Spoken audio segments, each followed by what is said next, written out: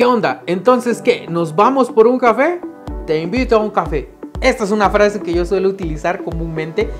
Cuando quiero conocer a alguien, le digo, vamos por un café. Cuando quiero compartir a lo mejor una carga que yo llevo o que tengo, le digo a alguien, vamos por un café. O cuando alguien está muy estresado y a lo mejor necesita desahogarse o necesita compartir eh, algún momento y, y despejarse, le digo, vamos por un café.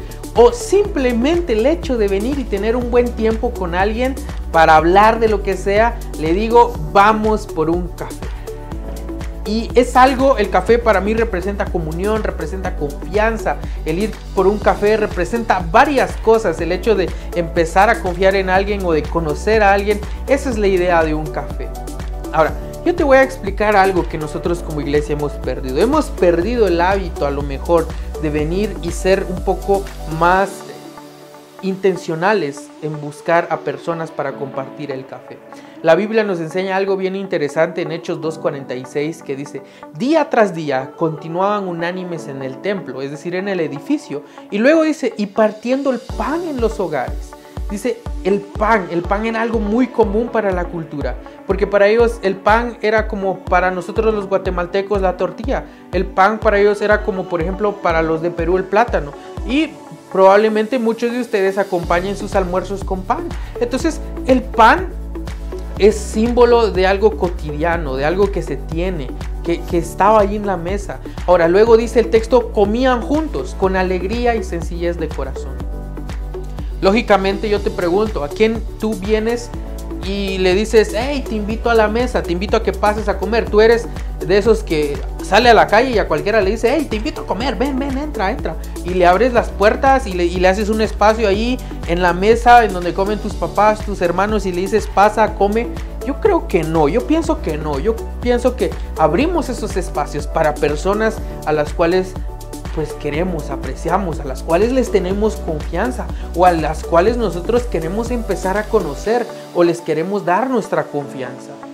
Cuando nosotros invitamos a alguien a nuestra mesa, es porque nosotros estamos tratando de decirle, quiero, queremos, quiero mantener una relación significativa de amistad contigo. Esa es la idea de abrirle un espacio en la mesa a alguien. Y es interesante porque esto da la idea entonces también de confianza, esto da la idea de comunicación, esto da la idea de hermandad. Y por eso la Biblia dice con alegría y sencillez de corazón. Porque no importaba lo que hubiera en la mesa, lo que importaba eran las personas que estaban ahí alrededor de la mesa.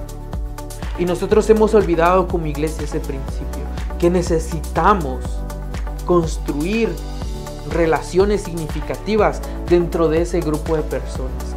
Tristemente nos hemos convertido en personas, no digo que todos ni todas las iglesias, pero en la gran mayoría, en, las iglesias termina, terminamos siendo lugares como muy religiosos realmente, en donde solo se llega, se canta, se predica y al acabarse cada quien para su casa. Calabaza, calabaza, cada quien para su casa, dijo un niño por ahí.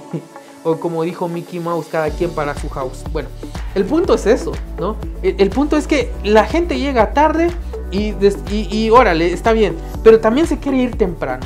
Y, y muy pocas veces también en, en, nuestras comunidades de fe hemos creado espacios para que la gente pueda convivir, pueda conocerse. Y necesitamos crear esos espacios para que la gente pueda conocer a las otras personas pueda convivir y pueda conocer a más personas, porque esa es la idea de, hermandad. Por esa razón se dicen hermanos, porque es la idea de, de compartir las luchas, de estar juntos, de venir y decir, estoy luchando con esto, abrirse hacia los demás.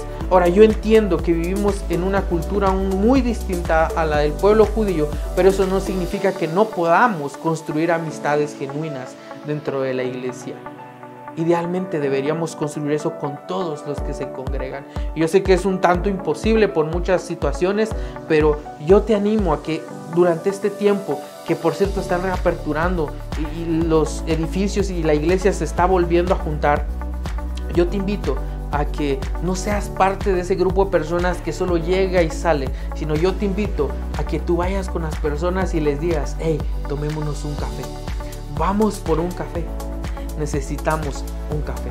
¿Por qué? Porque necesitamos construir comunión, necesitamos construir confianza, necesitamos construir una comunidad segura en la cual nosotros podamos confiar y en la cual otros puedan venir y confiar y decir, yo quiero pertenecer a una comunidad en la cual me tomen en cuenta y en la cual yo pueda tener confianza. Así que yo te invito a que seas parte de esa comunidad, la comunidad invitar a una tacita de café.